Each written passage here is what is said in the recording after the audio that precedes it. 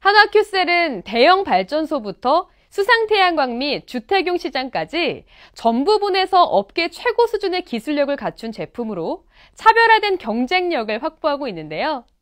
지난달 20일 한화큐셀은 독일 뮌헨에서 진행된 유럽 최대 태양광 전시회인 인터솔라에 참가해 인터솔라 어워드 2018을 수상하고 기술력을 다시 한번 인정받았습니다. 한화큐셀은 독일 뮌헨에서 개최된 인터솔라 어워드에서 신제품 큐피크 듀오로 인터솔라 어워드를 수상했는데요. 이는 태양광 업계에서 저명하고 권위 있는 상으로 한화큐셀은 태양광 모듈 브랜드 중 유일하게 본상을 수상했습니다.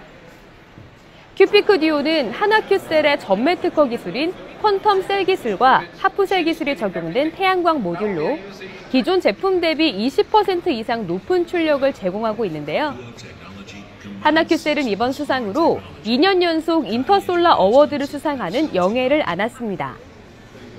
이로써 하나큐셀은 대형 발전소 시장부터 주택용 시장까지 전 제품 라인업이 업계 최고 수준의 기술력을 세계 시장에서 인정받게 됐는데요.